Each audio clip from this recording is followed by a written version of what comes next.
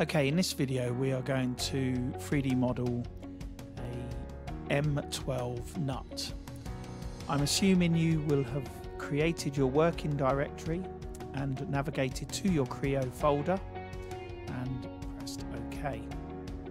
Once you've done that, then you go ahead and choose new and we'll call this M12 underscore nut and then press OK. And that creates your working 3D environment.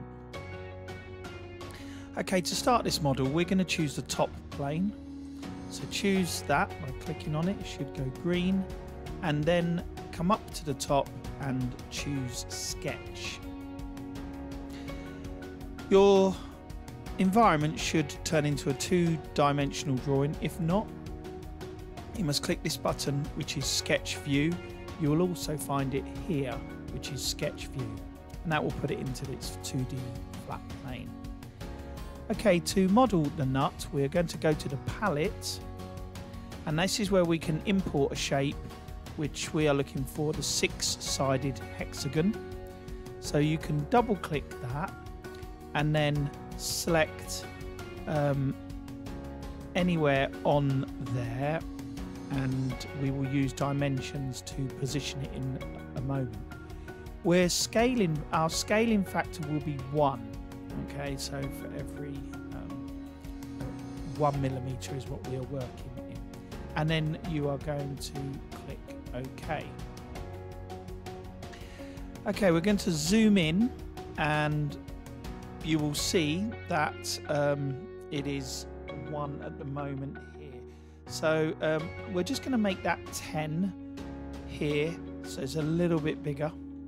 And we're going to zoom out.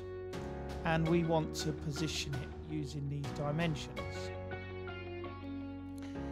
Okay, so here on this one, we are going to put zero and that will move it across.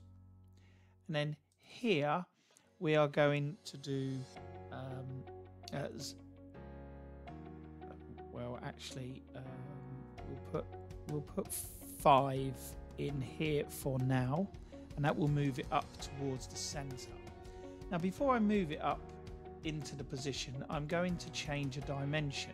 I'm going to use a dimension tool and I'm going to left click on this top of the hexagon and left click the bottom of this hexagon and then press my mouse scroll button here now this gives me 17.321 but it is a conflict between the other dimension I've given at 10 millimeters.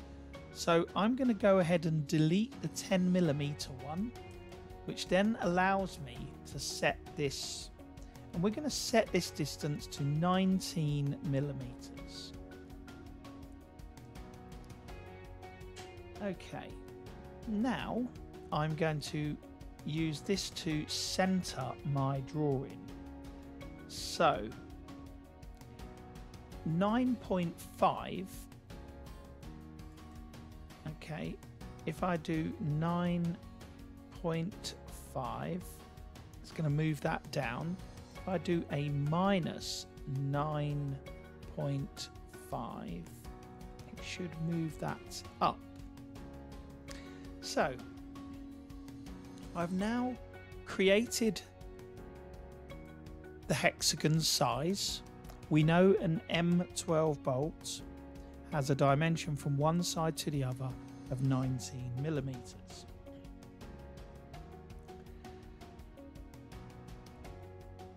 I'm now going to draw in that circle and I'm going to draw out a circle and I'm going to dimension that.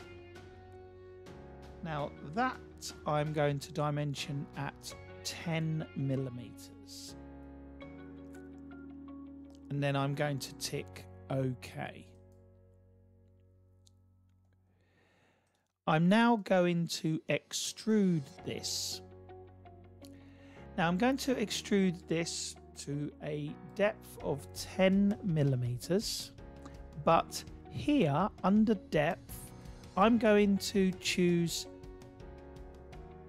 symmetric, which means that it moves both sides of the center and we're making that 10 millimeters.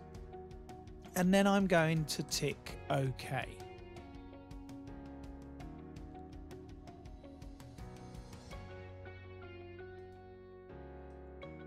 Okay, so now I'm going to choose the top surface um, and then I'm going to do a sketch onto the top surface. This time we're going to use the circle and the center and point. We're going to come to the middle. We're going to click and drag out until it references the edge, which you see the blue icon. So I'm going to click there and I've created a sketch on that surface. I'm now going to press OK and now I'm going to choose sweep. Now that I've chosen sweep, I'm going to go to sketch and here now I have a reference point. So I'm going to just zoom in a little bit closer and I'm going to use the line tool. And I'm going to start there by left clicking and then click a line uh, diagonally over. Okay, and then I'm going to disconnect. I'm now going to use the dimension tool to set that at 30 degrees. And then I'm going to get the line tool again and go down to the end of it, click, and I want to continue it, and you will be able to continue it. There we go. It locks in to be a continuous line constraint uh, to keep it. So I'm going to go uh, through the model. I'm going to click, and then I'm going to come up, and you can see where it's in line. So I'm going to click and then join it again, click, and then disconnect using the scroll wheel. Okay, so I've created a 30 degree um, drawing that's going to cut through. I'm now going to press OK and that was now swept around but here I'm going to remove material so we've got that happening. I'm going to remove the material which then takes the or chamfers the top of the bolt. And then I'm going to press OK. Um, and then we'll send recenter that. Okay so we've now got that feature but we want the feature underneath. So here we can choose sweep we then come up to mirror and then we choose our reference which is the middle plane which is the top plane and that will put that mirror that feature from one side to the other. We now have that chamfer detail on both sides of the model and then we're going to press OK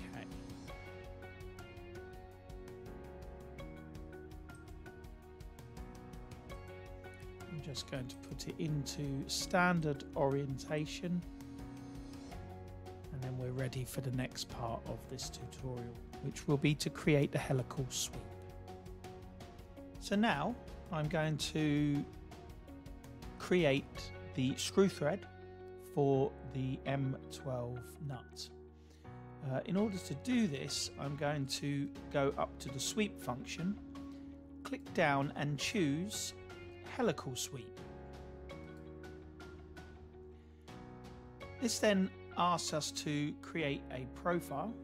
Um, so we're going to define define a plane to do a sketch on. So I'm going to choose define. I'm going to choose the uh, right plane and then choose sketch. So now I'm going to use the fourth function along, uh, which was clip model. Uh, sorry, fifth one along, clip model, and we can see inside here. And I'm going to draw, um, I'm going to reference first. So I'm over here to the reference. I'm going to choose reference and I'm going to reference this inside surface. And then I can close that and then I'm going to draw a line which is now in line with my reference. I'm going to start it above. It's important that you start above the nut and then down and finish below the nut.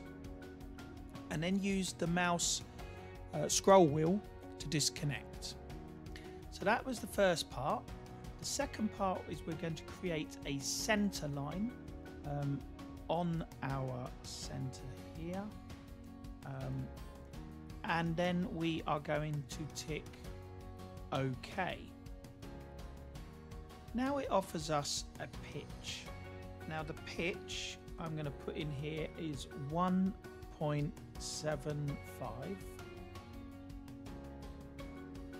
and now we are going to create a sketch. Now this is our point here where our sketch will start and I'm going to choose the circle tool. And I'm going to click on there and drag out a circle. Now I'm going to dimension that circle as 1.5 okay so 1.5 millimeter diameter. And then I'm going to press OK. And you can see the helical sweep I put that into the middle, has happened. And it's gone through and it has started below and gone above, which followed our uh, profile line. But this time we are going to remove material, leaving us our internal screw thread. Now that completes the modelling of the M12 bolt uh, nut. Sorry. Um, now, obviously, we can change um, certain parameters. We can change the pitch, and we can change the diameter that caused this cutaway. Our diameter was 1.5. We can also change it so it's not a circle and it could have been a triangle, creating a triangular groove running through. Okay, I'm going to put that into standard orientation and then I'm going to tick OK and that completes the modelling of the M12